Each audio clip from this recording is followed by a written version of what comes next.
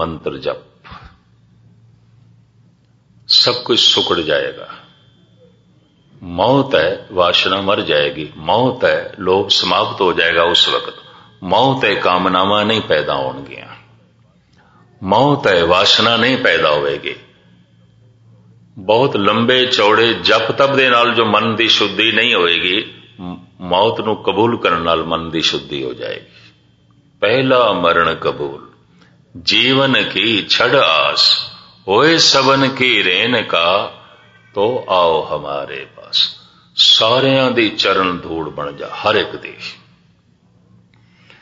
ਧਰਮ ਕੀ ਹੈ? ਕਦਮਾਂ ਵਿੱਚ ਬੈਠਣਾ। ਰਾਜਨੀਤੀ ਕੀ ਹੈ? ਅਗਲੇ ਦੇ ਸਿਰ ਤੇ ਬੈਠਣਾ। ਔਰ ਸਿਰ ਤੇ ਬੈਠ ਕੇ ਕਈ ਦਫਾ ਇਹ ਬੋਝ ਵੀ ਇਤਨਾ ਵਧਾ ਦਿੰਦੇ ਨੇ, ਅਗਲੇ ਦੀਆਂ ਗਰਦਨਾਂ ਤੋੜ ਕੇ ਰੱਖ ਦਿੰਦੇ ਇਹ ਵੀ ਮਹਿਰਸ ਕਰਦੇ ਰਾਜਨੀਤੀ ਸਿਰ ਤੇ ਬੈਠਦੀ ਹੈ। ਧਰਮ ਕਦਮਾਂ ਦੇ ਵਿੱਚ ਬੈਠਦਾ ਹੈ, ਪੈਰਾਂ ਵਿੱਚ ਬੈਠਦਾ ਹੈ, ਬਲਕਿ ਪੈਰਾਂ ਤੇ ਵੀ ਥੱਲੇ ਬੈਠਦਾ ਹੈ। ਧੂੜ ਬਣ ਕੇ ਰਹਿੰਦਾ ਹੈ, ਖਾਕ ਬਣ ਕੇ ਰਹਿੰਦਾ ਹੈ। ਬੜਾ ਕੀਮਤੀ ਬੋਲ ਹੈ ਗੁਰੂ ਨਾਨਕ ਦੇਵ ਜੀ ਮਹਾਰਾਜ ਦਾ। ਫਾਰਸੀ ਦਾ ਇੱਕ ਸ਼ਬਦ ਹੈ, ਗੁਰੂ ਗ੍ਰੰਥ ਸਾਹਿਬ ਜੀ ਮਹਾਰਾਜ ਦਾ। ਸ਼ੁਰੂ ਤੇ ਇਥੋਂ ਆਉਂਦਾ ਹੈ, ਯਕ ਅਰਜ਼ ਗੁਫਤਮ ਪੇਸ਼ ਤੋ ਦਰਗੋਸ਼ ਕੁਨ ਕਰਪਤਾਰ ਪਰ ਇਸ ਦੀਆਂ ਅਖੀਰਲੀਆਂ ਪੰਕਤੀਆਂ ਮੈਂ ਤੁਹਾਡੇ ਸਾਹਮਣੇ ਰੱਖਾਂ। ਮਹਾਰਾਜ ਕਹਿੰਦੇ ਨੇ ਬਦਬਖਤ ਹਮ ਚੋਂ ਬਖੀਲ ਗਾਫਲ। ਹੈ ਪਰਿਪੂਰਨ ਪਰਮਾਤਮਾ, ਮੈਂ ਕੋਈ ਖੁਸ਼ਕਿਸਮਤ ਨਹੀਂ ਆ। ਵੱਡੇ ਬਖਤ ਵਾਲਾ ਨਹੀਂ ਆ। ਮੇਰਾ ਬਖਤ ਚੰਗਾ ਨਹੀਂ ਹੈ। ਮੇਰਾ ਭਾਗ ਚੰਗਾ ਨਹੀਂ ਹੈ। ਬਦਬਖਤ ਹਮ ਚੋਂ ਬਖੀਲ ਗਾਫਲ। ਦੂਜਾ, ਮੈਂ ਬਖੀਲ ਵੀ ਹਾਂ। ਬਖੀਲ ਕਹਿੰਦੇ ਨਿੰਦਕ ਨੂੰ। ਫਾਰਸੀ ਅਰਬੀ ਵਿੱਚ ਇਹ ਧੰਨ ਗੁਰੂ ਨਾਨਕ ਦੇਵ ਜੀ ਮਹਾਰਾਜ ਦੀ ਅਤਿਅੰਤ ਨਿਰਮਾਣਤਾ। ਬਦਬਖਤ ਹਮ ਚੋਂ ਬਖੀਲ ਗਾਫਲ, ਬੇਨਜ਼ਰ।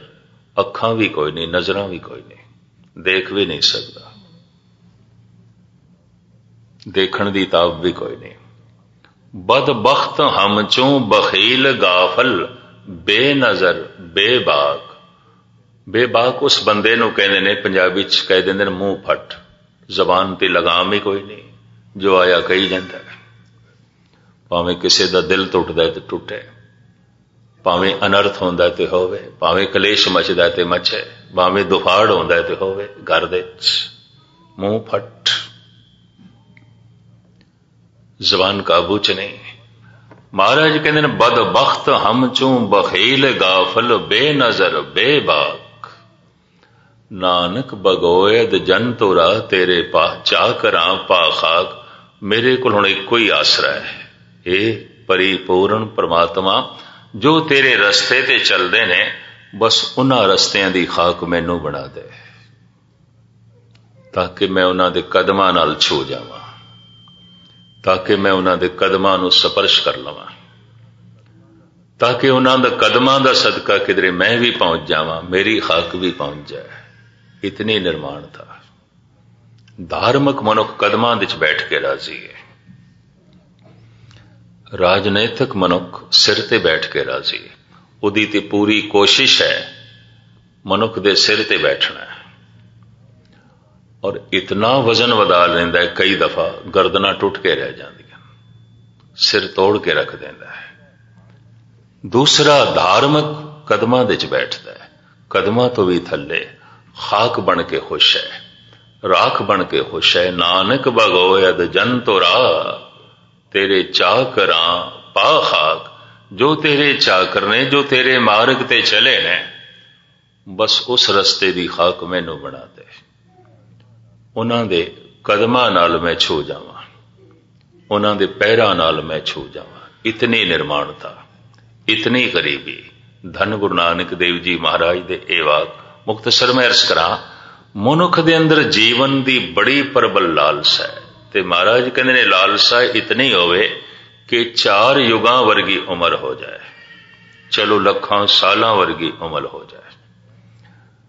ਤੋ ਕਿਆ, ਫਿਰ ਵੀ ਮਨੁੱਖ ਮੌਤ ਨੂੰ ਮੰਨਣ ਨੂੰ ਰਾਜ਼ੀ ਹੋਵੇਗਾ? ਕਤਈ ਨਹੀਂ, ਇਹ ਵੀ ਮਰਜ਼ ਕਰਦੇ ਉਸ ਦੀ ਫਿਰ ਇਸ ਤਰ੍ਹਾਂ ਦੀ ਚਾਹਤ ਹੋ ਜਾਏਗੀ, ਹੋਰ ਦਸੋਣੀ ਹੋਏ।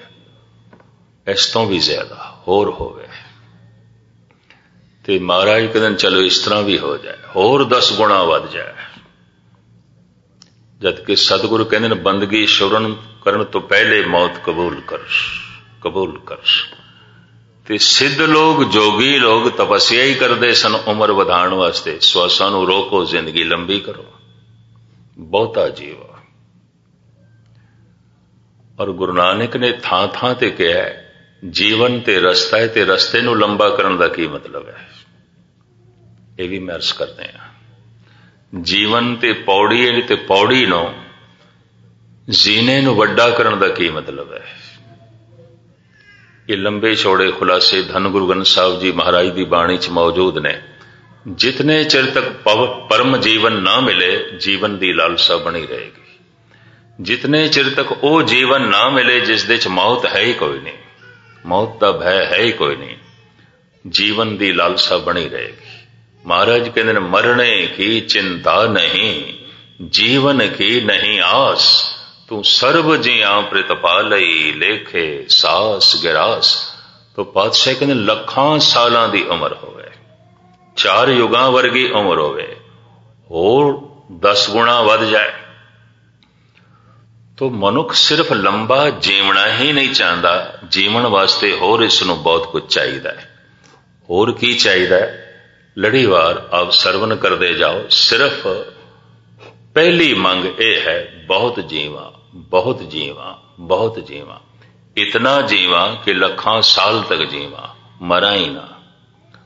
ਫਿਰ ਦੂਸਰੀ ਮੰਗ ਕੀ ਹੈ? ਹਾਂਜੀ। ਨਵਾਂ ਖੰਡਾਂ ਵਿੱਚ ਜਾਣੀਆਂ ਨਾਲ ਚਲੇ ਸਭ ਕੋਏ। ਇਤਨੀ ਪੂਜਾ ਹੋਵੇ ਇਤਨੀ ਪ੍ਰਤਿਸ਼ਠਾ ਹੋਵੇ ਔਰ ਮੈਂ ਇਤਨਾ ਮਸ਼ਹੂਰ ਹੋਵਾਂ ਕਿ ਨੌ ਖੰਡਾਂ ਵਿੱਚ ਜਾਣਿਆ ਜਾਵਾਂ ਮੈਂ ਹਾਂ। ਮੇਰੀ ਵੀ ਕੋਈ ਖੇਡ ਹੈ। ਮੈਂ ਵੀ ਹਾਂ।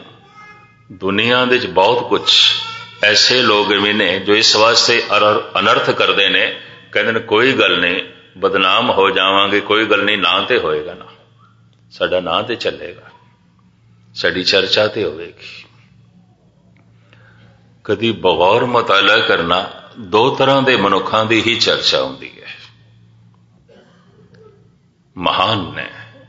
ਇੱਕ ਉਹ ਜੋ ਉੱਪਰ ਉੱਠਦੇ ਨੇ, ਇੱਕ ਉਹ ਜੋ ਥੱਲੇ ਜਾਂਦੇ ਨੇ। ਜੋ ਉੱਪਰ ਵੀ ਨਹੀਂ ਉੱਠਦੇ, ਥੱਲੇ ਵੀ ਨਹੀਂ ਜਾਂਦੇ ਤੇ ਵਿਚਕਾਰ ਪੌੜੀਆਂ ਦੇ ਬੈਠ ਗਏ ਨੇ। ਇਹਨਾਂ ਦੀ ਕੋਈ ਗੱਲ ਨਹੀਂ, ਸੰਸਾਰ ਵਿੱਚ ਇਹਨਾਂ ਦੀ ਕੋਈ ਗੱਲ ਨਹੀਂ ਆਉਂਦੀ। ਗੁਰੂ ਨਾਨਕ ਵੀ ਜਾਂ ਤੇ ਜੋਗੀਆਂ ਕੋਲ ਗਏ, ਭਗਤਾਂ ਕੋਲ ਗਏ, ਪੀਰਾਂ ਕੋਲ ਗਏ, ਫਕੀਰਾਂ ਕੋਲ ਗਏ, ਧਾਰਮਿਕ ਅਸਥਾਨਾਂ ਤੇ ਗਏ ਜਾਂ ਫਿਰ ਠੱਗਾਂ ਕੋਲ ਗਏ, ਚੋਰਾਂ ਕੋਲ ਗਏ, ਡਕੈਤਾਂ ਕੋਲ ਗਏ, ਦੈਂਤਾਂ ਕੋਲ ਗਏ। ਜੋ ਦੈਂਤ ਵੀ ਨਹੀਂ ਬਣ ਸਕਿਆ, ਦੇਵਤਾ ਵੀ ਨਹੀਂ ਬਣ ਸਕਿਆ, ਜੋ ਫਕੀਰ ਵੀ ਨਹੀਂ ਸੀ ਤੇ ਚੋਰ ਵੀ ਨਹੀਂ ਸੀ ਜੋ ਮਹਾਨ ਤਪੱਸਿਆ ਕਰਨ ਵਾਲਾ ਨਹੀਂ ਸੀ ਤੇ ਨਾਲੇ ਠੱਗ ਵੀ ਨਹੀਂ ਸੀ। ਗੁਰੂ ਨਾਨਕ ਨੇ ਨਹੀਂ ਚੁਣਿਆ ਉਹਨਾਂ ਨੂੰ। ਜਾਂ ਤੇ ਉਹਨਾਂ ਕੋਲ ਗੁਰੂ ਨਾਨਕ ਗਏ ਜੋ ਉੱਪਰ ਉੱਠ ਰਹੇ ਸਨ। ਉਹਨਾਂ ਕੋਲ ਇਸ ਵਾਸਤੇ ਗਏ ਥੱਕ ਨਾ ਜਾਣ। ਉਹਨਾਂ ਕੋਲ ਇਸ ਵਾਸਤੇ ਗਏ ਉਹਨਾਂ ਦਾ ਉਤਸ਼ਾਹ ਵਧਾਈਏ, ਕਿਧਰੇ ਰੁਕ ਨਾ ਜਾਣ। ਤੇ ਜਿਹੜੇ ਥੱਲੇ ਰਹਿ ਰਹੇ ਸਨ, ਕੌਡੇ ਰਾਖਸ਼ ਵਰਗੇ, ਸੱਜਣ ਠੱਗ ਵਰਗੇ ਭੂਮੀ ਚੋਰ ਵਰਗੇ ਹੋਰ ਤਰ੍ਹਾਂ ਤਰ੍ਹਾਂ ਦੇ ਡਾਕੂ ਡਕੈਤ। ਉਹਨਾਂ ਕੋਲ ਇਸ ਵਾਸਤੇ ਗਏ ਵੀ ਚੱਲਦੇ ਤੇ ਪਹਿਨੇ ਗਤੀ ਤੇ ਹੈ ਇਹਨਾਂ ਦੀ ਜ਼ਿੰਦਗੀ ਚ ਇਹਨਾਂ ਦਾ ਰੁਖ ਮੋੜ ਦਈਏ, ਬਸ। ਰੁਖ ਹੀ ਮੋੜਨਾ ਔਰ ਕੁਝ ਨਹੀਂ। ਚੱਲਣ ਦੀ ਗਤੀ ਤੇ ਹੈ। ਪਰ ਜੋ ਉੱਪਰ ਨਹੀਂ ਉੱਠ ਰਹੇ ਸਨ, ਥੱਲੇ ਵੀ ਨਹੀਂ ਜਾ ਰਹੇ ਸਨ, ਗੁਰੂ ਨਾਨਕ ਨੇ ਉਹਨਾਂ ਨੂੰ ਨਹੀਂ ਚੁਣਿਆ, ਇਹ ਤੇ ਚੱਲਦੇ ਹੀ ਨਹੀਂ ਪਏ। ਇਹਨਾਂ ਤੇ ਗਤੀ ਕੋਈ ਨਹੀਂ ਤੇ ਮੁਰਦੇ ਡਾਕੂ ਚ ਵੀ ਜ਼ਿੰਦਗੀ ਹੈ, ਸਿਰਫ ਰੁਖ ਮੋੜਨ ਦੀ ਦੇਰ ਹੈ। ਬਾਲਮੀਕ ਡਾਕੂ ਸੀ, ਸਪਤ ਰਿਸ਼ੀਆਂ ਨੇ ਰੁਖ ਮੋੜ ਦਿੱਤਾ, ਰਿਸ਼ੀ ਬਣ ਗਿਆ। ਚੋਟੀ ਦਾ ਕਵੀ ਬਣਿਆ, ਰਾਮਾਇਣ ਦਾ ਲਿਖਾਰੀ ਬਣਿਆ, ਮਹਾਗਿਆਨੀ ਬਣਿਆ, ਮਹਾਨ ਤਪੇਸ਼ਵਰ ਬਣਿਆ, ਰੁਖ ਮੋੜਨ ਦੀ ਲੋੜ ਆਉਂਦੀ ਹੈ। ਤੋ ਸਾਹਿਬ ਕਹਿੰਦੇ ਨੇ, ਨਵਾਂ ਖੰਡਾਂ ਵਿੱਚ ਜਾਣੀ ਨੌ ਖੰਡ ਜਿਹੜੀ ਪ੍ਰithvi ਹੈ, ਸਾਰੀ ਪ੍ਰithvi ਵਿੱਚ ਉਹ ਜਾਣਿਆ ਜਾਵੇ, ਇਤਨੀ ਪ੍ਰਤਿਸ਼ਠਾ ਹੋਵੇ। ਇਤਨੀ ਪ੍ਰਭਤਾ ਹੋਵੇ ਤੇ ਪੂਜਾ ਕਰਨ ਲਈ ਕਰੀਬਨ ਕਰੀਬਨ 9 ਖੰਡ ਪ੍ਰithvi ਦੇ ਲੋਕ ਉਸ ਦੇ ਨਾਲ ਚੱਲਣ ਉਸ ਦੀ ਪੂਜਾ ਕਰਨ ਉਸ ਦੀ ਪ੍ਰਤਿਸ਼ਠਾ ਕਰਨ ਇਤਨੀ ਉਸ ਦੀ ਪ੍ਰਭਤਾ ਹੋਵੇ ਹਾਂਜੀ ਚੰਗਾ ਨਾਉ ਰਖਾਇ ਕੈ ਜਸ ਕੀਰਤ ਜਗ ਲੈ ਹਰ ਇੱਕ ਦੀ ਜ਼ਬਾਨ ਦੇ ਉੱਤੇ ਉਸ ਦੇ ਨਾਮ ਦੀ ਚੰਗਿਆਈ ਹੋਵੇ ਭਈ ਮਹਾਨ ਮਨੁੱਖ ਹੈ ਬੜਾ ਚੰਗਾ ਹੈ ਬੜਾ ਚੰਗਾ ਹੈ ਬੜਾ ਚੰਗਾ ਹੈ ਤੇ ਲੋਕੀ ਜੋ ਚੰਗਾ ਚੰਗਾ ਆਖਣ ਉਸ ਦਾ ਰਸ ਲਵੇ। ਜਸ ਕੀ ਰਤ ਜਸ ਲੈ ਆਪਣੇ ਜਸ ਤੇ ਕੀਰਤੀ ਦਾ ਰਸ ਲਵੇ। ਉਹਦਾ ਜਸ ਹੋ ਰਿਹਾ, ਉਹਦੀ ਕੀਰਤੀ ਹੋ ਰਹੀ ਹੈ। ਔਰ ਇਹ ਰਸ ਉਹ ਆਪ ਲਵੇ ਬਈ ਲੋਕੀ ਸਾਰੇ ਹੀ ਚੰਗਾ ਚੰਗਾ ਆਖੀ ਜਾਂਦੇ ਨੇ। ਮਨੁੱਖ ਦੀ ਪਹਿਲੀ ਮੰਗ ਹੈ ਜੀਵਾਂ, ਬਹੁਤ ਜੀਵਾਂ। ਦੂਸਰੀ ਮੰਗ ਹੈ ਮੇਰੇ ਕੋਲ ਬੜੀ ਤਾਕਤ ਹੋਵੇ, ਸ਼ਕਤੀ ਹੋਵੇ, ਕਮਜ਼ੋਰ ਹੋ ਕੇ ਮੈਂ ਨਾ ਜੀਵਾਂ। ਇਹ ਵੀ ਮੈਂ ਅਰਜ਼ ਕਰਦੇ ਹਾਂ। ਪ੍ਰਭਤਾ ਬੜੀ ਹੋਵੇ, ਪੂਜਾ ਬੜੀ ਹੋਵੇ, ਔਰ ਫਿਰ ਮੇਰਾ ਜਸ ਬੜਾ ਹੋਵੇ।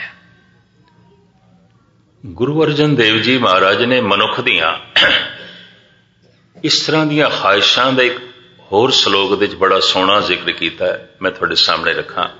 ਮਨੁੱਖ ਦੀਆਂ ਮੂਲ ਮੰਗਾਂ ਦੇ ਚੋਂ ਇਹ ਮੰਗਾਂ ਹੋ ਸਕਦੀਆਂ ਨੇ ਕਿਹੜੀਆਂ? ਅਤ ਸੁੰਦਰ ਮੈਂ ਬਹੁਤ ਖੂਬਸੂਰਤ ਹਾਂ। ਹਰ ਇੱਕ ਦੀਆਂ ਨਿਗਾਹਾਂ ਮੇਰੇ ਤੇ ਹੀ ਟਿਕਣ।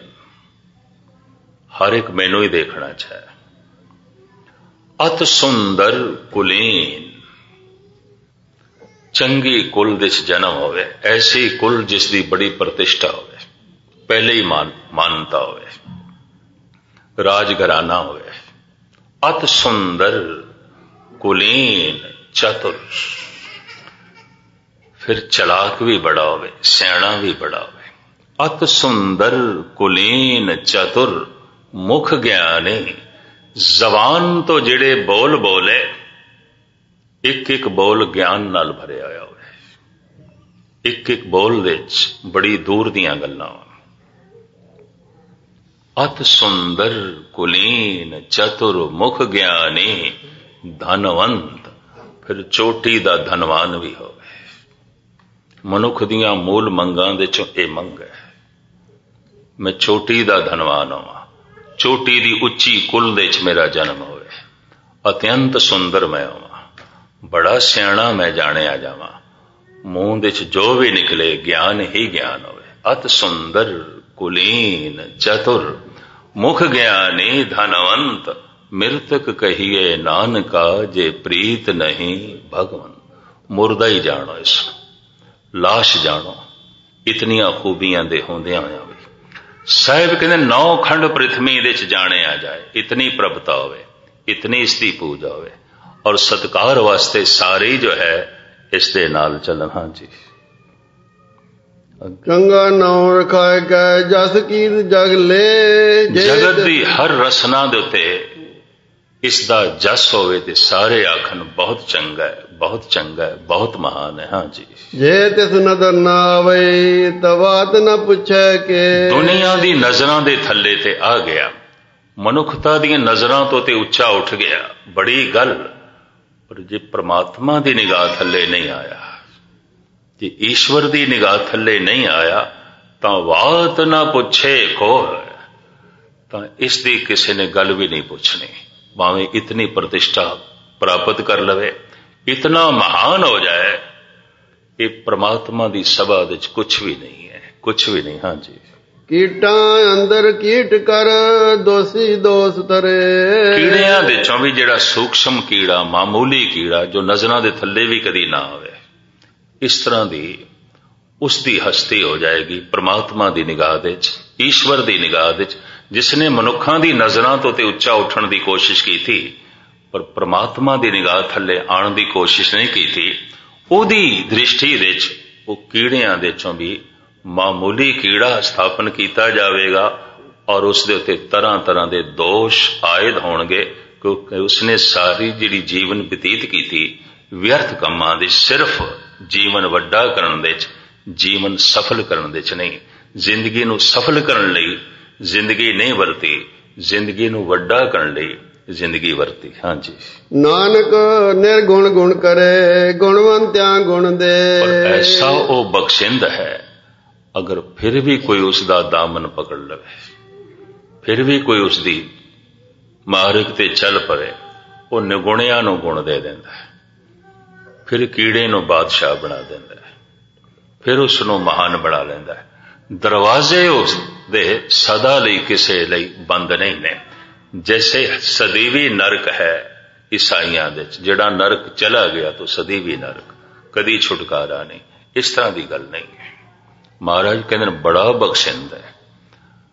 ਭੁੱਲ ਚੇਤੇ ਆ ਜਾਏ, ਖਿਆਲ ਆ ਜਾਏ, ਤੇ ਚਿੰਤਨ ਚੱਲ ਪਵੇ, ਐਸੇ ਨਿਗੁਣਿਆਂ ਨੂੰ ਵੀ ਫਿਰ ਉਹ ਗੁਣ ਪ੍ਰਦਾਨ ਕਰ ਦਿੰਦਾ ਤੇ ਮਹਾਨ ਬਣਾ ਦਿੰਦਾ ਮੂਲ ਗੱਲ ਯੋਗੀਆਂ ਨੂੰ ਸਮਝਾਉਂਦੇ ਹੋਏ ਜ਼ਿੰਦਗੀ ਦਾ ਲਕਸ਼ ਜ਼ਿੰਦਗੀ ਲੰਬੀ ਕਰਨਾ ਨਹੀਂ, ਜ਼ਿੰਦਗੀ ਦਾ ਲਕਸ਼ ਹੈ ਜ਼ਿੰਦਗੀ ਨੂੰ ਸਫਲ ਕਰਨਾ। ਜੀਵਨ ਨੂੰ ਸਫਲ ਕਰਨਾ, ਔਰ ਉਹ ਪ੍ਰਮਾਤਮਾ ਦੇ ਗੁਣਾ ਨਾਲ ਆਉਂਦੀ ਹੈ ਅਗਰ ਕੋਈ ਗੁਣਾ ਨਾਲ ਪਿਆਰ ਪਾਵੇ, ਤੇ ਪ੍ਰਮਾਤਮਾ ਉਸ ਨੂੰ ਮਹਾਨ ਬਣਾ ਦਿੰਦਾ ਹੈ, ਉੱਚਾ ਬਣਾ ਦਿੰਦਾ ਹੈ। ਤੇ ਇਹਨਾਂ ਗੁਣਾਂ ਦੀ ਕਿਸ ਤਰ੍ਹਾਂ ਪ੍ਰਾਪਤੀ ਹੋਵੇ, ਅਗਲੀ ਪੌੜੀ ਦੇ ਸਤਿਗੁਰ ਦੱਸਣਗੇ। ਕੱਲ ਮੈਂ ਤੁਹਾਡੇ ਸਾਹਮਣੇ ਉਹ ਖੁਲਾਸਾ ਕਰਾਂਗਾ। ਇੱਥੇ ਹੀ ਸਮਾਪਤੀ। ਗੁਰੂ ਕੇ ਕੀਰਤਨੀਆਂ ਪਾਸੋਂ ਇੱਕ ਸ਼ਬਦ ਸਰਵਨ ਕਰੋ। ਆਨੰਦ ਸਾਹਿਬ ਦਾ ਪਾਠ ਤੇ ਫਿਰ ਸਮਾਪਤੀ। ਸਾਰਿਆਂ ਦਾ ਹਾਰਦਿਕ ਤੌਰ ਤੇ ਧੰਨਵਾਦ। ਬੁੱਲ ਚੁਗ ਦੀ ਸ਼ਮਾ। ਵਾਹਿਗੁਰੂ ਜੀ ਕਾ ਖਾਲਸਾ। ਵਾਹਿਗੁਰੂ ਜੀ ਕੀ ਨਾਨਕ ਨਿਰਗੁਣ। ਅਕਾਲ ਮੂਰਤ ਅਜੂਨੀ ਸੈਭੰ ਗੁਰ ਪ੍ਰਸਾਦ ਹੇ ਪ੍ਰਾਣਨਾਥ ਗੋਬਿੰਦੇ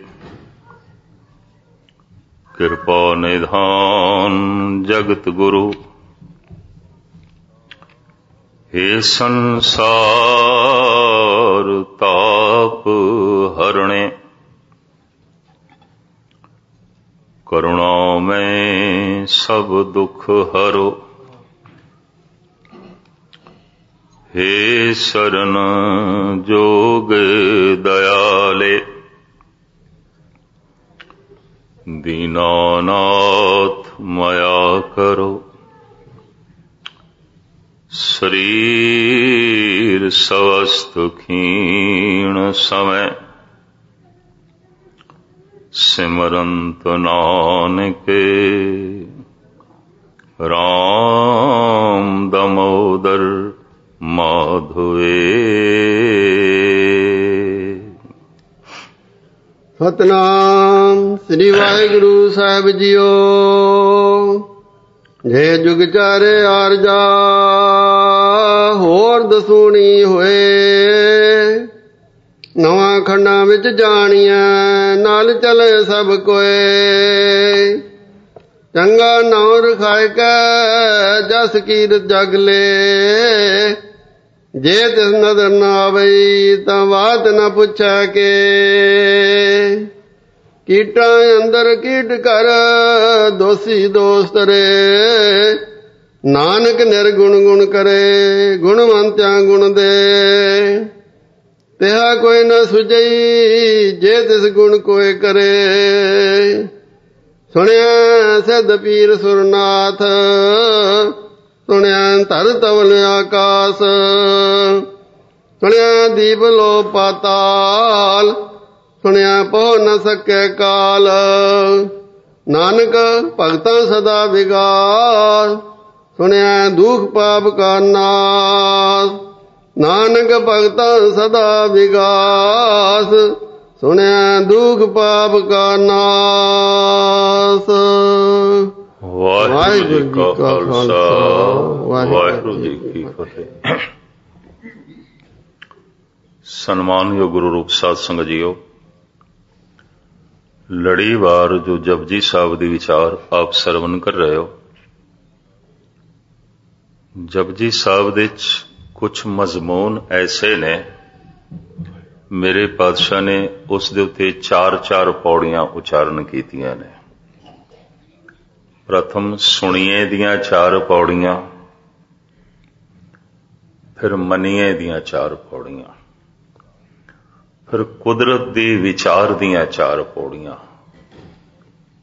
ਕੁਦਰਤ ਕੌਣ ਕਹਾ ਵਿਚਾਰ? ਵਾਰਿਆ ਨਾ ਜਾਵਾਂ ਏਕ ਵਾਰ। ਜੋ ਤੁਧ ਭਾਵੇ ਸਾਈ ਭਲੀਕਾਰ ਤੂੰ ਸਦਾ ਸਲਾਮਤ ਨਿਰੰਕਾਰ ਇਹ ਚਾਰ ਪੌੜੀਆਂ। ਫਿਰ ਹੋਰ ਚਾਰ ਪੌੜੀਆਂ ਨੇ ਆਦੇਸ਼, ਤਿਸੇ ਆਦੇਸ਼, ਆਦ, ਅਨੀਲ, ਅਨਾਦ, ਅਨਾਹਦ, ਜੁਗ ਜੁਗ ਏਕੋ ਵਿਸ।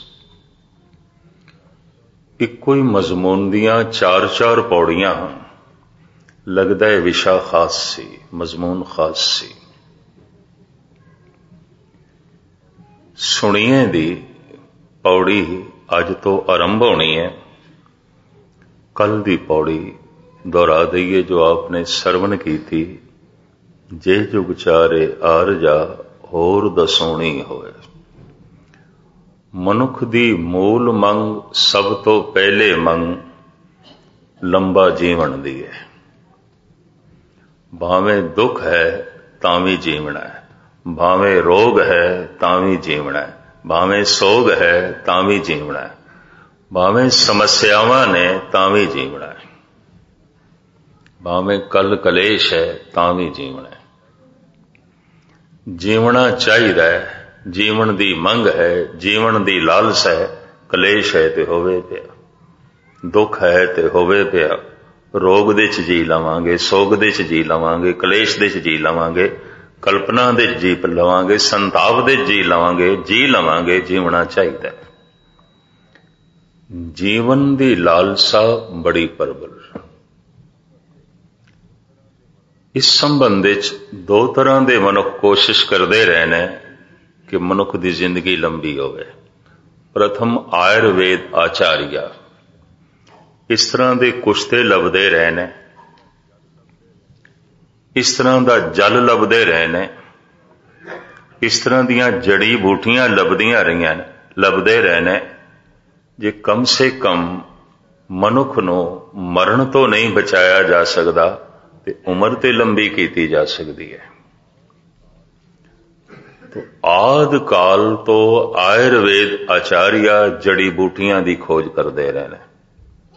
ਤਰ੍ਹਾਂ ਤਰ੍ਹਾਂ ਦੇ ਕੁਸ਼ਤਿਆਂ ਦੀ ਖੋਜ ਕਰਦੇ ਰਹੇ ਨੇ। ਤਰ੍ਹਾਂ ਤਰ੍ਹਾਂ ਦੀਆਂ ਔਸ਼ਧੀਆਂ ਦੀ ਖੋਜ ਕਰਦੇ ਰਹੇ ਨੇ। ਤਰ੍ਹਾਂ ਤਰ੍ਹਾਂ ਦੇ ਜਲ ਦਾ ਵੀ ਉਹ ਨਿਰੀਖਣ ਕਰਦੇ ਰਹੇ ਨੇ, ਕਿਸੇ ਪਾਣੀ ਨਾਲ ਸ਼ਾਇਦ ਉਮਰ ਵੱਧਦੀ ਹੋਵੇ। ਕਿਸੇ ਸਰੋਵਰ ਦੇ ਜਲ ਨਾਲ, ਕਿਸੇ ਨਦੀ ਦੇ ਜਲ ਨਾਲ, ਕਿਸੇ ਝਰਨੇ ਦੇ ਜਲ ਨਾਲ, ਕਿਸੇ ਵਿਸ਼ੇਸ਼ ਪਾਣੀ ਨਾਲ। ਇੱਕ ਕੋਸ਼ਿਸ਼ ਤੇ ਇਹ ਬੈਰੂ ਨਹੀਂ ਰਹੀ ਹੈ। ਆਦ ਕਾਲ ਤੋਂ ਕਿਸੇ ਨਾ ਕਿਸੇ ਰੂਪ ਵਿੱਚ ਹੁਣ ਵੀ ਜਾਰੀ ਹੈ। ਦੂਜੀ ਕੋਸ਼ਿਸ਼ ਇਹ ਰਹੀ ਹੈ ਧਾਰਮਿਕ ਲੋਕਾਂ ਦੀ। ਵੀ ਕਿਸੇ ਤਰੀਕੇ ਨਾਲ ਜੀਵਨ ਨੂੰ ਮੌਤ ਤੋਂ ਬਚਾਈਏ ਤੇ ਜੀਵਨ ਨੂੰ ਲੰਬਾ ਵੀ ਕਰੀਏ। ਲਾਲਸਾ ਦੋਹਾਂ ਦੀ ਕੋਈ ਚਾਹੇ ਉਹ ਆਯੁਰਵੇਦ ਆਚਾਰੀਆ ਸਨ ਤੇ ਚਾਹੇ ਧਾਰਮਿਕ ਲੋਕ ਸਨ। ਜ਼ਿਆਦਾ ਜੀਵਣਾ ਹੈ, ਕਿਉਂ ਜੀਵਣਾ ਹੈ, ਇਸ ਦਾ ਕੁਝ ਪਤਾ ਵੀ ਨਹੀਂ। ਧਾਰਮਿਕ ਅਨੁਭਵੀ ਪੁਰਸ਼ ਕਹਿੰਦੇ ਨੇ, ਸਾਨੂੰ ਕੋਈ ਨਾ ਜਾਣੇ, ਸਾਨੂੰ ਬਹੁਤ ਦੁੱਖ ਦੁੱਖ ਹੁੰਦਾ ਹੈ, ਬਈ ਇੱਥੇ ਤੇ ਸਾਨੂੰ ਕੋਈ ਜਾਣਦਾ ਹੀ ਨਹੀਂ। ਪਰ ਧਰਮ ਦਾ ਇੱਕ ਸਵਾਲ ਹੈ ਕਿ ਤੂੰ ਖੁਦ ਆਪਣੇ ਆਪ ਨੂੰ ਜਾਣਦਾ ਜੇ ਮੈਂ ਆਪਣੇ ਆਪ ਨੂੰ ਨਾ ਜਾਣਾ, ਤਾਂ ਕਿੰਨਾ ਦੁੱਖ ਹੋ ਸਕਦਾ? ਅੰਦਰ ਬਹੁਤ ਵੱਡਾ ਦੁੱਖ ਹੈ, ਕਿਉਂਕਿ ਮੈਂ ਨਹੀਂ ਜਾਣਦਾ ਆਪਣੇ ਆਪ ਨੂੰ। ਮੈਨੂੰ ਕੋਈ ਨਾ ਜਾਣੇ, ਇਹ ਦੁੱਖ ਮੈਂ ਬਾਹਰੋਂ ਮੰਨਦਾ। ਮੈਂ ਆਪਣੇ ਆਪ ਨੂੰ ਨਾ ਜਾਣਾ, ਇਹ ਦੁੱਖ ਅੰਦਰੋਂ ਪੈਦਾ ਹੁੰਦਾ ਹੈ। ਦੂਸਰੀ, ਜੀਵਨ ਲੰਬਾ ਹੋਵੇ ਤੇ ਦੂਜੀ ਮੰਗ ਇਹ ਹੈ, ਸਾਰੀ ਦੁਨੀਆ ਮੈਨੂੰ ਜਾਣੇ। ਜੇ ਜੁਗ ਚਾਰੇ ਆਰ ਜਾ, ਹੋਰ ਦਾ ਸੋਣੀ ਹੋਏ। ਉਮਰ ਇਤਨੀ ਹੋਵੇ, ਚਾਰ ਯੁੱਗਾਂ ਵਰਗੀ, ਹੋਰ 10 ਗੁਣਾ ਲੰਬੀ ਹੋ ਜਾਏ। ਵਿਸਤਾਰ ਸਹਿਤ ਆਪ ਕੱਲ ਸਰਵਨ ਕਰ ਚੁੱਕੇ, ਇਸ ਵਿੱਚ ਮੈਂ ਆਪ ਜੀ ਦਾ ਸਮਾਂ ਨਾ ਲਵਾਂ। ਹੋਰ 10 ਗੁਣਾ ਵੱਧ ਜਾਏ। ਤੇ ਸਿਰਫ ਜੀਵਨ ਹੀ ਲੰਬਾ ਕਿਉਂ ਹੋਵੇ? ਸਾਰੀ ਦੁਨੀਆ ਮੈਨੂੰ ਜਾਣੇ। ਮਨੁੱਖ ਬਹੁਤ ਦੁਖੀ ਹੁੰਦਾ, ਇੱਥੇ ਮੈਨੂੰ ਕੋਈ ਨਹੀਂ ਜਾਣਦਾ। ਇੱਥੇ ਤੇ ਮੈਂ ਉਹ ਭਰਾ। ਇੱਥੇ ਤੇ ਸਭ ਬੇਗਾਨੇ ਨੇ। ਔਰ ਵਿਦਵਾਨ ਕਹਿੰਦੇ ਨੇ, ਬੇਗਾਨਿਆਂ ਦੇ ਚ ਜੀਵਣਾ ਨਰਕ ਦੇ ਚ ਜੀਵਣਾ ਹੈ। ਆਪਣਿਆਂ ਦੇ ਚ ਜੀਵਣਾ, ਸਵਰਗ ਦੇ ਚ ਜੀਵਣਾ ਹੈ। ਤੇ ਮਨੁੱਖ ਕਿਤਨਾ ਕੁ ਆਪਣੇ ਬਣਾ ਲਏਗਾ। 5 ਅਰਬ ਦੇ ਕਰੀਬ ਮਨੁੱਖੀ ਦੁਨੀਆ ਪਸ਼ੂ ਵੀ ਨੇ, ਪੰਛੀ ਵੀ ਨੇ, ਬਨਸਪਤੀ ਵੀ ਹੈ, ਗੈਬੀ ਦੁਨੀਆ ਵੀ ਹੈ, ਦੇਵਤੇ ਵੀ ਨੇ, ਭੂਤ ਪ੍ਰੇਤ ਵੀ ਨੇ, ਬੜਾ ਪਸਾਰਾ ਹੈ। ਮਨੁੱਖ ਇਸ ਛੋਟੀ ਜਿਹਾ ਜ਼ਿੰਦਗੀ ਦੇ ਵਿੱਚ ਯਤਨ ਵੀ ਕਰ ਲਵੇ, ਕਿੰਨਿਆਂ ਨੂੰ ਆਪਣਾ ਬਣਾ ਲਵੇਗਾ, ਵਰਨਾ ਕੋਸ਼ਿਸ਼ ਤੇ ਇਸ ਦੀ ਇਹ ਹੀ ਆਉਂਦੀ ਹੈ। ਹਰ ਮਹਾਨ ਮਨੁੱਖ ਮੇਰਾ ਆਪਣਾ ਹੋਵੇ। ਜੋ ਜੀਵਨ ਦੇ ਕਿਸੇ ਪੱਖ ਦੇ ਚੋਂ ਵੀ ਅੱਗੇ ਹੈ, ਉਸ ਨਾਲ ਮੇਰੇ ਤਾਲੁਕਾਤ ਹੋਵਨ ਚਾਹੇ ਉਹ ਰਾਜਨੀਤੀ ਦੇ ਵਿੱਚ ਅੱਗੇ ਹੈ, ਚਾਹੇ ਉਹ ਕਿਸੇ ਕਲਾ ਦੇ ਵਿੱਚ ਅੱਗੇ ਹੈ ਚਾਹੇ ਧਾਰਮਿਕ ਸਾਧਨਾ ਦੇ ਚ ਅੱਗੇ ਹੈ, ਚਾਹੇ ਧਨ ਦੀ ਦੁਨੀਆ ਚ ਅੱਗੇ ਹੈ। ਕਿਸੇ ਤਲ ਤੇ ਵੀ ਜੋ ਅੱਗੇ ਹੈ ਉਸ ਦਾ ਮੇਰੇ ਨਾਲ ਸੰਬੰਧ ਹੋਵੇ ਉਹ ਮੈਨੂੰ ਜਾਣੇ, ਮੈਂ ਉਸ ਨੂੰ ਜਾਣਾ। ਔਰ ਫਿਰ ਸਿਰਫ ਇਸ ਤੇ ਹੀ ਮਨੁੱਖ ਨਹੀਂ ਰੁਕਦਾ। ਕਮ ਸੇ ਕਮ ਮੈਨੂੰ ਤੇ ਸਾਰੀ ਦੁਨੀਆ ਜਾਣੇ। ਕਿਤਨੀ ਦੁਨੀਆ ਜਾਣੇ, ਨਵਾਂ ਖੰਡਾਂ ਵਿੱਚ ਜਾਣੀ ਹੈ। ਸਮੁੰਦਰ ਨੇ ਜ਼ਮੀਨ ਨੂੰ ਪ੍ਰਾਚੀਨ ਕਥਨ ਮੁਤਾਬਕ ਨੌ ਹਿੱਸਿਆਂ ਦੇ ਚ ਵੰਡਿਆ ਹੋਇਆ ਹੈ, ਨੌ ਖੰਡ ਪ੍ਰithvi ਨੌ ਟੁਕੜੇ ਜ਼ਮੀਨ ਦੇ। ਜ਼ਮੀਨ ਦੇ ਕਮ ਸੇ ਕਮ ਜਿਹੜੇ ਨੌ ਟੁਕੜੇ ਨੇ, ਜਿੱਥੇ ਮਨੁੱਖੀ ਦੁਨੀਆ ਰਹਿੰਦੀ ਹੈ, ਇਹ ਸਾਰੀ ਮੈਨੂੰ ਜਾਣੇ। ਇਹ ਮਨੁੱਖ ਦੀ ਮੂਲ ਮੰਗ ਹੈ, ਬੁਨਿਆਦੀ ਮੰਗ ਹੈ। ਨਾਲ ਚਲੇ ਸਭ ਕੋਏ, ਮਾਨ ਸਨਮਾਨ ਵਾਸਤੇ ਸਾਰੇ ਹੀ ਨਾਲ ਚੱਲਣ। ਅਗਵਾਈ ਸਾਰੇ ਹੀ ਕਰਨ। ਪਹੁੰਚਾਣ ਲਈ ਸਾਰੇ ਹੀ ਆਵਣ। ਅੱਗੋਂ ਲੈਣ ਲਈ ਸਾਰੇ ਹੀ ਆਵਣ। ਨਾਲ ਚਲੇ ਸਭ ਕੋਏ।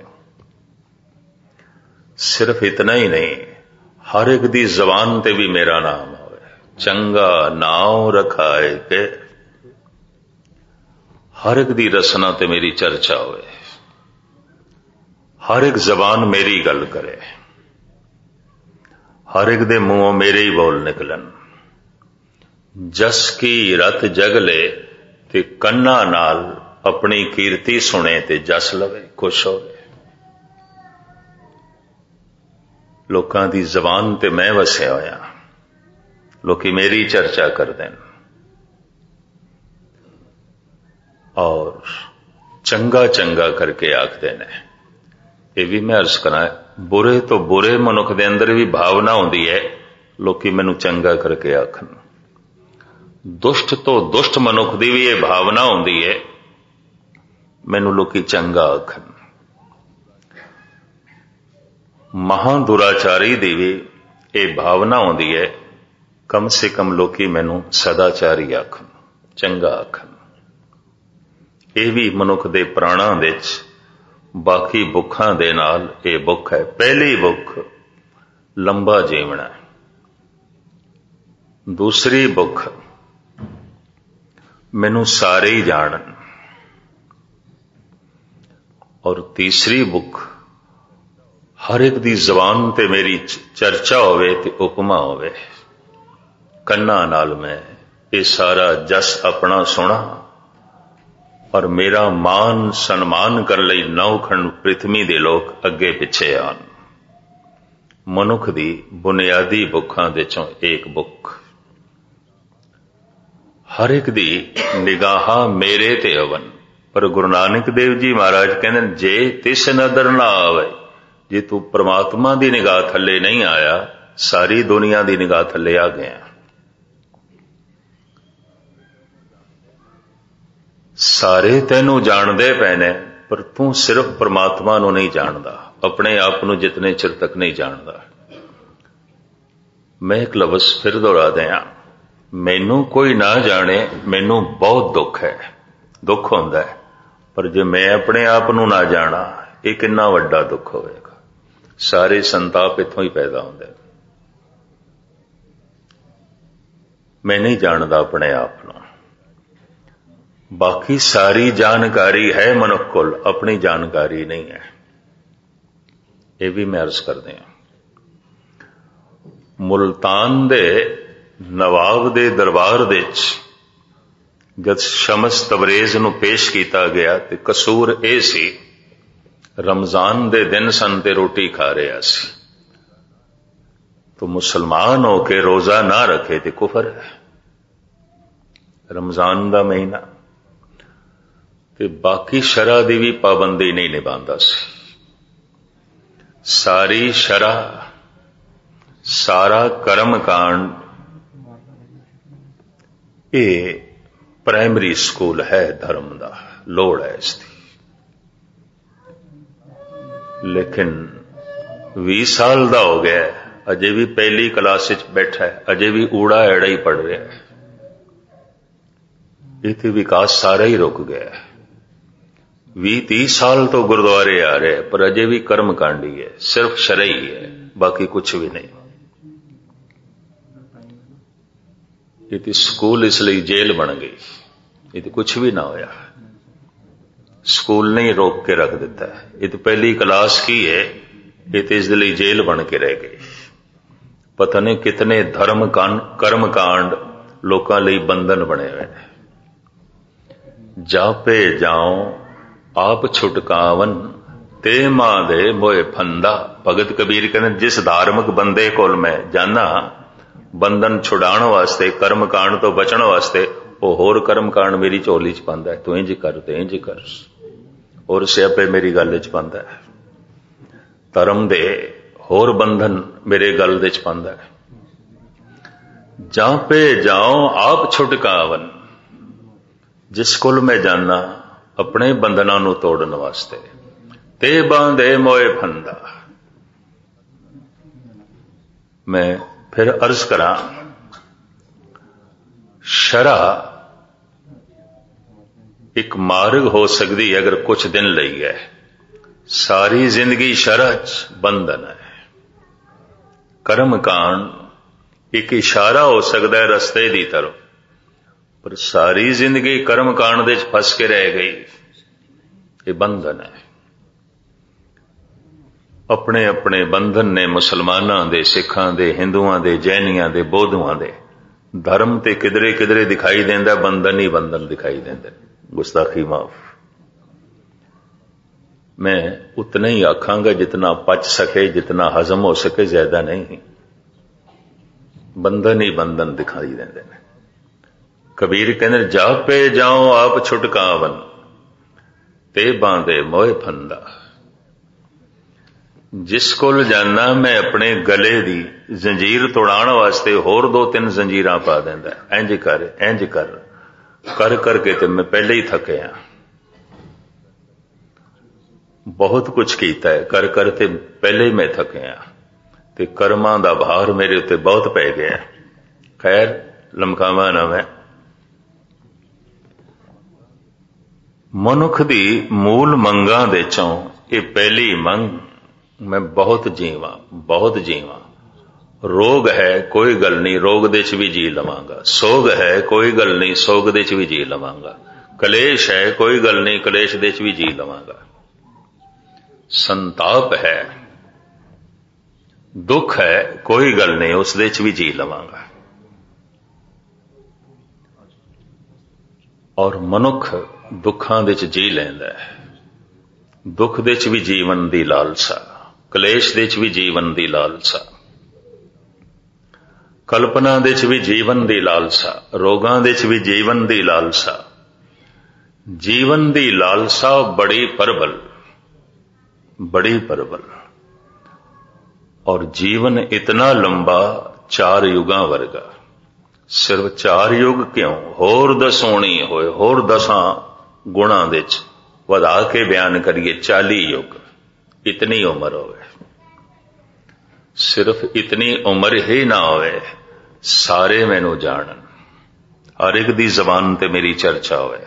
ਮਨੁੱਖ ਦਾ ਦੂਜਾ ਉਪਰਾਲਾ ਇਹ ਹੈ, ਮੈਂ ਫਿਰ ਅਰਜ਼ ਕਰਾਂ, ਬਹੁਤ ਦੁਖੀ ਹੋ ਜਾਂਦਾ ਬੰਦਾ ਜਿੱਥੇ ਇਸ ਨੂੰ ਕੋਈ ਨਾ ਜਾਣੇ। ਕੋਈ ਨਹੀਂ ਜਾਣਦਾ ਵੀ ਸਭ ਉਪਰੇ ਨੇ, ਸਭ ਬੇਗਾਨੇ ਨੇ। ਤੇ ਮਨੁੱਖ ਇਸ ਛੋਟੀ ਜਿਹੀ ਜ਼ਿੰਦਗੀ ਦੇ ਵਿੱਚ ਕਿੰਨਿਆਂ ਨੂੰ ਆਪਣਾ ਕਰ ਸਕਦਾ ਹੈ? ਕਿੰਨਿਆਂ ਨੂੰ ਕਰ ਲਏਗਾ? ਪਾਤਸ਼ਾਹ ਦੀ ਬਾਣੀ ਕਹਿੰਦੀ ਹੈ, ਇੱਕ ਨੂੰ ਆਪਣਾ ਬਣਾ ਸਭ ਆਪਣੇ ਨੇ, ਇੱਕ ਸੱਜਣ ਸਭ ਸੱਜਣਾ, ਇੱਕ ਵੈਰੀ ਸਭ ਬਾਤ। ਇੱਕ ਆਪਣਾ ਤੇ ਸਾਰੇ ਆਪਣੇ ਨੇ ਇੱਕ ਨਾਲ ਰਿਸ਼ਤਾ ਕੋਈ ਨਹੀਂ ਤੇ ਕਿਧਰੇ ਵੀ ਕੋਈ ਰਿਸ਼ਤੇਦਾਰੀ ਨਹੀਂ, ਕਿਧਰੇ ਵੀ ਕੋਈ ਸੰਬੰਧ ਨਹੀਂ, ਕਿਧਰੇ ਵੀ ਕੋਈ ਅਪਣੰਤ ਨਹੀਂ ਹੋਵੇਗੀ। ਇੱਕ ਸੱਜਣ, ਸਭ ਸੱਜਣਾ, ਇੱਕ ਵੈਰੀ, ਸਭ ਬਾਦ ਇੱਕ ਨਾਲ ਵੈਰ ਹੈ, ਇੱਕ ਨਾਲ ਕੋਈ ਸੰਬੰਧ ਨਹੀਂ, ਤੋ ਵਾਦ ਵਿਵਾਦ ਦੇ ਸਾਰਿਆਂ ਨਾਲ ਜ਼ਿੰਦਗੀ ਬਤੀਤ ਹੋਵੇਗੀ ਹੋਰ ਕੁਝ ਵੀ ਨਹੀਂ। ਇੱਕ ਸੱਜਣ।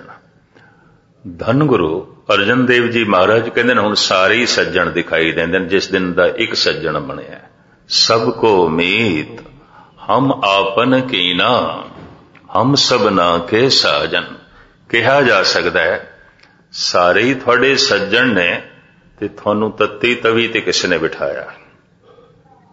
ਸਾਰੇ ਹੀ ਤੁਹਾਡੇ ਸੱਜਣ ਨੇ ਕਿ ਗਰਮ ਗਰਮ ਰੇਤਾ ਸੀਸ ਦੇ ਵਿੱਚ ਕਿਸ ਨੇ ਪਾਇਆ।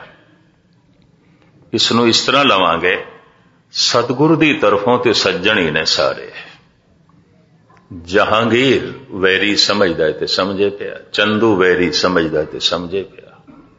ਸਤਿਗੁਰੂ ਦਾ ਹਿਰਦਾ ਪਵਿੱਤਰਤਾ ਨਾਲ ਭਰਿਆ ਹੋਇਆ, ਦੋਸਤੀ ਦੇ ਜਜ਼ਬੇ ਨਾਲ ਭਰਿਆ ਹੋਇਆ, ਮਿੱਤਰਤਾ ਦੇ ਜਜ਼ਬੇ ਨਾਲ ਭਰਿਆ ਹੋਇਆ। ਇੱਕ ਆਲਮ ਦਾ ਕਹਿਣਾ ਹੈ ਸ਼ੁਨੀਦਮ ਕੇ ਮਰਦਾਨੇ ਰਾਹੇ ਖੁਦਾ।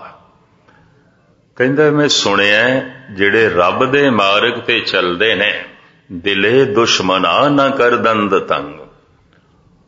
ਉਹ ਦੁਸ਼ਮਨ ਦੇ ਦਿਲ ਨੂੰ ਵੀ ਕਦੀ ਤੰਗ ਨਹੀਂ ਕਰਦੇ, ਦੁਸ਼ਮਨ ਨੂੰ ਵੀ ਚੋਟ ਨਹੀਂ ਪਹੁੰਚਾਉਂਦੇ ਤੁਰਾ ਕੀ ਮੁਯਸਰ ਸ਼ਬਦ ਏ ਮਕਾਮ, ਕਿ ਬਾਦੋ ਸਤਾਨਤ ਖਿਲਾਫ ਅਸਤ ਜੰਗ। ਤੈਨੂੰ ਇਹ ਰਤਬਾ ਕਦੋਂ ਨਸੀਬ ਹੋਵੇਗਾ? ਤੂੰ ਤੇ ਆਪਣਿਆਂ ਦਾ ਜੀਵਣਾ ਵੀ ਹਰਾਮ ਕੀਤਾ ਹੋਇਆ ਹੈ। ਤੂੰ ਤੇ ਆਪਣਿਆਂ ਨੂੰ ਵੀ ਚੋਟ ਪਹੁੰਚਾ ਰਿਹਾ ਮੈਂ ਤੇ ਸੁਣਿਆ ਜੋ ਰੱਬ ਦੇ ਮਾਰਗ ਤੇ ਚੱਲਦੇ ਨੇ, ਉਹ ਜੋ ਉਹਨਾਂ ਦੇ ਦੁਸ਼ਮਣ ਆਉਂਦੇ ਨੇ, ਉਹਨਾਂ ਨੂੰ ਵੀ ਜ਼ਰਬ ਨਹੀਂ ਪਹੁੰਚਾਉਂਦੇ।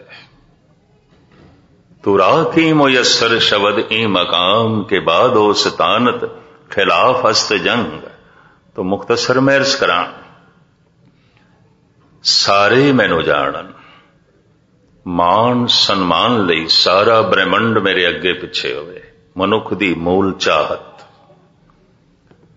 ਸਾਰਿਆਂ ਦੀ ਨਿਗਾਹਾਂ ਥੱਲੇ ਮੈਂ ਹੀ ਹੋਵਾਂ। ਤੇ ਸਾਰਿਆਂ ਦੀ ਜ਼ਬਾਨ ਦੇ ਉੱਤੇ ਮੇਰੀ ਚਰਚਾ ਹੋਵੇ। ਪਰ ਮਹਾਰਾਜ ਕਹਿੰਦੇ, ਜੇ ਤਿਸ ਨਦਰ ਨਾ ਆਵਈ, ਤਾਂ ਬਾਤ ਨਾ ਪੁੱਛੇ ਕਿ ਜੇ ਕਿਧਰੇ ਤੂੰ ਪ੍ਰਮਾਤਮਾ ਦੀ ਨਿਗਾਹ ਦੇ ਥੱਲੇ ਨਹੀਂ ਆਇਆ ਉਸ ਦੀ ਨਜ਼ਰਾਂ ਦੇ ਥੱਲੇ ਆਉਣ ਦੀ ਕੋਸ਼ਿਸ਼ ਨਹੀਂ ਕੀਤੀ। ਇਸ ਤਰ੍ਹਾਂ ਦਾ ਤੂੰ ਯਤਨ ਹੀ ਨਹੀਂ ਕੀਤਾ। ਇਸ ਤਰ੍ਹਾਂ ਦਾ ਤੂੰ ਉਪਰਾਲਾ ਹੀ ਨਹੀਂ ਕੀਤਾ।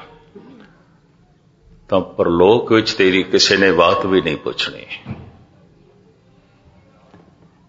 ਪਰ ਸਾਹਿਬ ਕਹਿੰਦੇ ਨੇ, ਨਿਰਾਸ਼ ਹੋਣ ਦੀ ਲੋੜ ਨਹੀਂ। ਦੁਖੀ ਹੋਣ ਦੀ ਲੋੜ ਨਹੀਂ। ਉਹ ਐਸਾ ਮਹਾਨ ਪ੍ਰਮਾਤਮਾ ਹੈ, ਦਿਆਲੂ ਹੈ। ਨਾਨਕ ਨਿਰਗੁਣ ਗੁਣ ਕਰੇ, ਗੁਣਵੰਤੀਆਂ ਗੁਣ ਦੇ।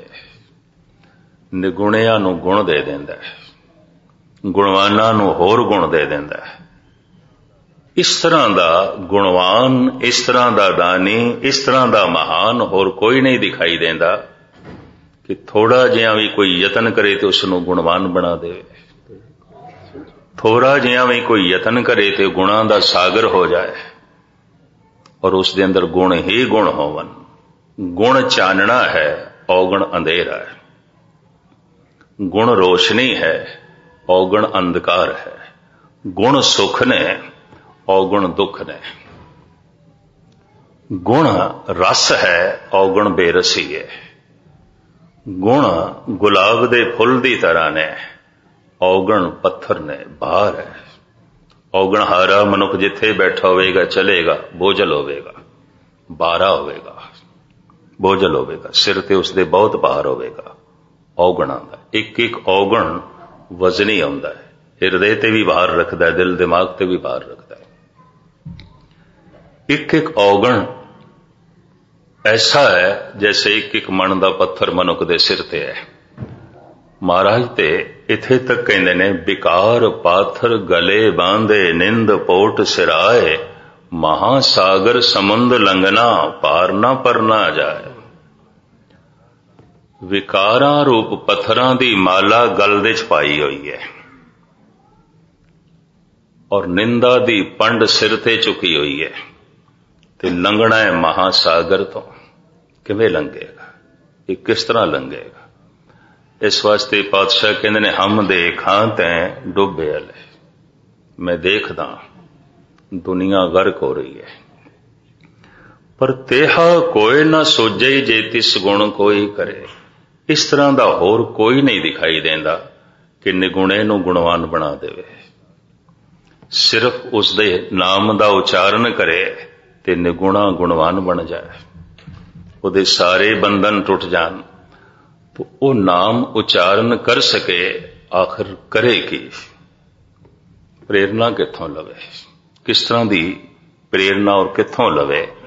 ਤੋਂ ਅੱਗੇ ਇਹ ਚਾਰ ਪੌੜੀਆਂ ਨੇ। ਆਪ ਪਹਿਲੀ ਪੌੜੀ ਦਾ ਪਾਠ ਸਰਵਨ ਕਰੋ। ਤੁਛ ਬੁੱਧੀ ਅਨਸਾਰ ਮੈਂ ਖੁਲਾਸਾ ਕਰਨ ਦੀ ਨਿਮਾਣੀ ਕੋਸ਼ਿਸ਼ ਕਰਾਂਗਾ ਹਾਂਜੀ। ਸੁਣਿਆ ਸਿੱਧ ਪੀਰ ਸੁਰਨਾਥ। ਇਸ ਪੌੜੀ ਦੇ ਅਰਥ ਪਹਿਲੀ ਪੰਕਤੀ ਤੋਂ ਨਹੀਂ ਸ਼ੁਰੂ ਹੁੰਦੇ ਕਿੱਥੋਂ ਸ਼ੁਰੂ ਹੁੰਦੇ ਨੇ? ਅਖੀਰਲੀ ਨਾਨਕ ਭਗਤਾਂ ਸਦਾ ਵਿਗਾਸ ਸੁਣੀਏ ਦੁਖ ਪਾਪ ਕਾ ਨਾਸ। ਇਹ ਅਰਥ ਇੱਥੋਂ ਸ਼ੁਰੂ ਹੋਣਗੇ। ਇਸ ਪੌੜੀ ਦੀ ਅਸਥਾਈ ਪੰਕਤੀ ਇਹੀ ਹੈ। ਮੂਲ ਪੰਕਤੀ ਇਹੀ ਹੈ। ਔਰ ਇਹ ਚਾਰ ਦਫਾ ਗੁਰੂ ਨਾਨਕ ਨੇ ਦੁਹਰਾਈ ਹੈ। ਸੁਣੀਏ ਦੀਆਂ ਚਾਰ ਪੌੜੀਆਂ। ਧਰਮ ਦੀ ਪਹਿਲੀ ਪੌੜੀ, ਧਰਮ ਦੀ ਪਹਿਲੀ ਸਾਧਨਾ ਸੁਣਨਾ ਹੈ, ਸੁਣੀਏ, ਮਨੀਏ, ਮਨ ਕੀਤਾ ਭਾਵ। ਤਿੰਨਾਂ ਚਰਨਾਂ ਦੇ ਉੱਤੇ ਧਰਮ ਦੀ ਸਾਰੀ ਸਾਧਨਾ ਖੜੀ ਹੈ। ਇਸ ਨੂੰ ਯੋਗ ਸ਼ਾਸਤਰ ਦਾ ਕਰਤਾ ਪਤੰਜਲੀ ਇੰਜ ਕਹਿੰਦਾ ਹੈ ਧਾਰਣਾ ਧਿਆਨ, ਸਮਾਧੀ। ਇਸ ਨੂੰ ਵੇਦਾਂਤ ਸ਼ਾਸਤਰ ਦਾ ઋષਿ ਵਿਆਸ। ਇੰਜ ਕਹਿੰਦਾ ਹੈ, ਸਰਵਨਨ ਮਨਨ ਨਿਧਿਆਸਨ। ਇਸ ਨੂੰ ਗੁਰੂ ਨਾਨਕ ਇੰਜ ਕਹਿੰਦੇ ਨੇ ਸੁਣੀਏ ਮਨੀਏ ਮਨ ਕੀਤਾ ਭਾਵ ਕਰੀਬਨ 6 ਸ਼ਾਸਤਰਾਂ ਦੀ ਵਿਚਾਰ ਤੇ ਗੁਰੂ ਨਾਨਕ ਦਾ ਸਿਧਾਂਤ ਕਰੀਬਨ ਕਰੀਬਨ ਇੱਥੇ ਮੇਲ ਖਾ ਜਾਂਦਾ ਹੈ। ਸਰਵਨਨ ਮਨਨ ਨਿਧਿਆਸਨ। ਵਿਆਸ। ਧਾਰਣਾ, ਧਿਆਨ, ਸਮਾਧੀ, ਪਤੰਜਲੀ। ਕਰਮ ਕਾਂਡ ਗਿਆਨ ਕਾਂਡ ਕਰਮ ਕਾਂਡ ਉਪਾਸ਼ਨਾ ਕਾਂਡ ਗਿਆਨ ਕਾਂਡ ਐਸਾ ਉਪਨਿਸ਼ਦਾਂ ਦੇ ઋષਿ ਕਹਿੰਦੇ ਨੇ। ਉਹ ਵੀ ਤਿੰਨ ਤੇ ਖੜੇ ਨੇ। ਧਰਮ ਦੀ ਸਾਰੀ ਸਾਧਨਾ ਇਹਨਾਂ ਤਿੰਨਾਂ ਤੇ ਖੜੀ ਹੈ। ਯੋਗ ਜੋ ਬੜੇ ਵਿਆਪਕ ਪੱਧਰ ਤੇ ਮਛੰਦਰਨਾਥ ਤੇ ਗੋਰਖ ਤੋਂ ਚੱਲਿਆ। ਪਰ ਜਿਸ ਦਾ ਜਨਮਦਾਤਾ ਪਤੰਜਲੀ ਹੈ, ਸ਼ਾਇਦ ਆਪ ਨੂੰ ਪਤਾ ਹੋਵੇ, ਯੋਗ ਸ਼ਾਸਤਰ ਦਾ ਕਰਤਾ ਪਤੰਜਲੀ ਹੈ। ਯੋਗ ਦੀਆਂ ਸਾਰੀਆਂ ਵਿਧੀਆਂ ਉਸਨੇ ਲਿਖੀਆਂ ਨੇ। ਯੋਗ ਦੇ ਸਾਰੇ ਆਸਨ ਉਸੇ ਨੇ ਲਿਖੇ ਨੇ। ਜਿਸ ਨੂੰ ਅਸੀਂ ਇਸ ਦੇਸ਼ ਦੇ ਵਿੱਚ ਯੋਗਾ ਕਰਕੇ ਜਾਣਦੇ ਆ ਇਹ ਤੇ ਇੱਕ ਤਰੀਕੇ ਦੀ ਐਕਸਰਸਾਈਜ਼ ਹੈ, ਮਨ ਦੀ ਸਾਧਨਾ ਨਹੀਂ ਹੈ। ਇਹ ਵੀ ਮਹਿਰਸ ਕਰਦੇ ਆ ਕਹਿੰਦੇ ਪਏ ਹੁੰਦੇ ਨੇ, ਯੋਗਾ ਕਰ ਰਹੇ ਨੇ। ਦੋ ਚਾਰ ਸਵਾਮੀ ਵਿਵੇਕਾਨੰਦ ਦੇ ਆਸ਼ਰਮ ਦਾਸ ਨੇ ਦੇਖੇ ਨੇ ਲਾਸ ਐਂਜਲਸ ਦੇ ਵਿੱਚ ਇੱਥੇ ਵੀ। ਉੱਥੇ ਜੋ ਯੋਗ ਹੋ ਰਿਹਾ ਹੁੰਦਾ ਕਿਸੇ ਹੱਦ ਤੱਕ, ਉਹ ਇੱਕ ਤਰੀਕੇ ਦੀ ਸਰੀਰ ਦੀ ਵਰਜ਼ਿਸ਼ ਹੀ ਹੈ ਔਰ ਕੁਝ ਵੀ ਨਹੀਂ। ਸਰੀਰ ਲਈ ਠੀਕ ਹੋ ਸਕਦਾ ਹੈ। ਮਨ ਦੀ ਸਾਧਨਾ ਨਹੀਂ ਹੈ। ਉਸ ਤੋਂ ਕੁਝ ਸਿੱਖ ਸਾਧੂਆਂ ਨੇ ਵੀ ਅਪਣਾਇਆ ਹੋਇਆ ਹੈ। ਔਰ ਉਹ ਵੀ ਯੋਗ ਦੀ ਮੋਰ ਲਾਉਂਦੇ ਨੇ ਭਈ ਅਸੀਂ ਯੋਗਾ ਕਰ ਰਹੇ ਹਾਂ। ਯੋਗ ਸਾਧਨਾ ਕੀ ਹੈ? ਉਸ ਦੇ ਆਸਨ ਕਿਤਨੇ ਨੇ? ਵਾਸਤਵਿਕ ਇਹ ਸਾਰੀ ਵਿਆਖਿਆ ਲਿਖੀ ਹੈ ઋષਿ ਪਤੰਜਲੀ ਨੇ। ਯੋਗ ਸ਼ਾਸਤਰ ਦੇ ਵਿੱਚ। ਉਸ ਨੂੰ ਫਿਰ ਪ੍ਰਚਾਰਿਆ ਮਛੰਦਰਨਾਥ ਨੇ। ਔਰ ਅਗਾਹ ਚੱਲ ਕੇ ਇਸ ਵਿਧੀ ਨੂੰ ਵਿਆਪਕ ਤੌਰ ਤੇ ਭਾਰਤ ਵਿੱਚ ਫੈਲਾਇਆ ਗੋਰਖ ਨੇ। ਮਛੰਦਰਨਾਥ ਤੇ ਗੋਰਖ ਦਾ ਇਤਨਾ ਅਸਰ ਪਿਆ, ਭਰਤਰੀ ਵੀ ਲਪੇਟ ਦੇ ਚ ਆਇਆ, ਗੋਪੀ ਚੰਦ ਵੀ ਲਪੇਟ ਦੇ ਚ ਆਇਆ। ਰਾਜਸਥਾਨ ਦੇ ਬੜੇ ਬੜੇ ਰਜਵਾੜੇ ਇਸ ਦੀ ਲਪੇਟ ਚ ਆਏ। ਮੱਦੇ ਭਾਰਤ ਜੋ ਕਹਿਲਾਂਦਾ ਹੈ ਯੂਪੀ ਦੇ ਰਜਵਾੜੇ, ਇਸ ਦੀ ਲਪੇਟ ਦੇ ਚ ਆਏ ਗੋਰਖਪੁਰ ਸ਼ਹਿਰ ਗੋਰਖ ਦੇ ਨਾਂ ਦਾ ਹੈ। ਸਾਰੇ ਨੇਪਾਲੀਆਂ ਨੂੰ ਨੇਪਾਲ ਨੂੰ ਗੋਰਖੇ ਆਖੇ ਜਾਂਦੇ, ਗੋਰਖ ਨੂੰ ਮੰਨਣ ਵਾਲੇ ਸਨ। ਗੋਰਖ ਦੇ ਬੜੇ ਬੜੇ ਮੱਠ, ਗੋਰਖ ਦਾ ਵਿਆਪਕ ਅਸਰ। ਪਤੰਜਲੀ ਇਸ ਸਾਰੀ ਵਿਚਾਰਧਾਰਾ ਨੂੰ ਤਿੰਨਾਂ ਤੇ ਖੜਾ ਕਰਦਾ ਹੈ। ਧਾਰਣਾ, ਧਿਆਨ, ਸਮਾਧੀ। ਉਪਨਿਸ਼ਦਾਂ ਦੇ ਰਿਸ਼ੀ ਤਿੰਨਾਂ ਤੇ ਖੜਾ ਕਰਦੇ ਨੇ, ਕਰਮ ਕਾਂਡ, ਉਪਾਸ਼ਨਾ ਕਾਂਡ, ਗਿਆਨ ਕਾਂਡ। ਔਰ ਫਿਰ ਇਸੇ ਤਰੀਕੇ ਨਾਲ ਵਿਆਸ, ਜੋ ਵੇਦਾਂਤ ਸ਼ਾਸਤਰ ਦਾ ਕਰਤਾ ਹੈ, ਕਹਿੰਦਾ ਹੈ, ਸਰਵਨਨ ਮਨਨ ਨਿਧਿਆਸਨ। ਗੁਰੂ ਨਾਨਕ ਇਸ ਨੂੰ ਇਸ ਤਰ੍ਹਾਂ ਬਿਆਨ ਕਰਦੇ ਨੇ ਸੁਣੀ ਹੈ ਮਨੀ ਹੈ, ਮਨ ਕੀਤਾ ਭਾਉ, ਅੰਤਰਗਤ ਤੀਰਥ ਮਲ ਨਾਓ ਅੱਗੇ ਪੰਕਤੀਆਂ ਆ ਜਾਣਗੀਆਂ। ਔਰ ਪਿੱਛੇ ਵੀ ਨੇ, ਪੰਜਵੀਂ ਪੌੜੀ ਚ। ਸੁਣੀ ਹੈ, ਮਨੀ ਹੈ, ਮਨ ਕੀਤਾ ਭਾਉ। ਵਾਸਤਵਿਕ ਇਹਨਾਂ ਤਿੰਨਾਂ ਦੇ ਉੱਤੇ ਧੰਨ ਗੁਰੂ ਨਾਨਕ ਦੇਵ ਜੀ ਮਹਾਰਾਜ ਨੇ ਧਰਮ ਦੀ ਸਾਧਨਾ ਨੂੰ ਖੜਾ ਕੀਤਾ, ਸੁਣੋ। ਪ੍ਰਥਮ ਸੁਣੋ। ਔਰ ਜੋ ਸੁਣਨ ਲਈ ਆਇਆ ਹੀ ਨਹੀਂ ਗੁਰਦੁਆਰੇ, ਉਹ ਗੁਰਦੁਆਰੇ ਆਇਆ ਹੀ ਨਹੀਂ। ਇਹ ਵੀ ਮੈਂ ਅਰਜ਼ ਕਰਦੇ ਹਾਂ। ਪਹਿਲੀ ਸਾਧਨਾ ਹੀ ਹੈ ਸੁਣਨਾ। ਸਰਵਨਨ, ਮਨਨ ਨਿਦੇ ਆਸਨ ਸੁਣੀਏ ਗੁਰਦੁਆਰੇ ਆਉਣ ਦਾ ਮੂਲ ਮੁੱਦਾ ਸੁਣਨਾ। ਕਈ ਇੱਥੇ ਵੀ ਗੁਟਕਾ ਲੈ ਕੇ ਪਾਠ ਕਰਨ ਲੱਗ ਪੈਂਦੇ ਨੇ ਕੀਰਤਨ ਦੇ ਚ ਵੀ। ਐਸਾ ਮੈਂ ਦੇਖਿਆ ਸਵੇਰੇ ਦੇ ਥਾਂ ਕਈ ਥਾਵਾਂ ਤੇ। ਉਹ ਤੇ ਘਰ ਵੀ ਕਰ ਸਕਦਾ ਸੀ। ਸੁਣ। ਕੀਰਤਨ ਹੋ ਰਿਹਾ ਹੈ, ਸੁਣ। ਪਾਠ ਹੋ ਰਿਹਾ ਹੈ, ਸੁਣ। ਕਥਾ ਹੋ ਰਹੀ ਹੈ, ਸੁਣ। ਪਰ ਮੈਰਸ ਕਰਾਂ, ਇਹ ਪਹਿਲਾ ਕਦਮ ਹੀ ਔਖਾ ਹੈ। ਬਹੁਤ ਔਖਾ ਹੈ। ਕੀ ਪਹਿਲਾ ਕਦਮ ਸੁਣਨਾ? ਸੁਣਨਾ ਹੀ ਔਖਾ ਹੈ। ਕਾਰਨ, ਇਹ ਇਤਨੀ ਉੱਚੀ ਗੱਲ ਹੈ, ਇਤਨੀ ਉੱਚੀ ਗੱਲ ਹੈ, ਗੁਰੂ ਗ੍ਰੰਥ ਸਾਹਿਬ ਜੀ ਮਹਾਰਾਜ ਦੀ ਬਾਣੀ, ਚਾਹੇ ਪਾਠ ਦੇ ਰੂਪ ਵਿੱਚ ਸੁਣੀਏ ਚਾਹੇ ਕੀਰਤਨ ਦੇ ਰੂਪ ਵਿੱਚ, ਚਾਹੇ ਕਥਾ ਦੇ ਰੂਪ ਸਿਰ ਦੇ ਉੱਪਰੋਂ ਲੰਘਦੀ ਹੈ। ਤਾਲਮੇਲ ਨਹੀਂ ਬੈਠਦਾ।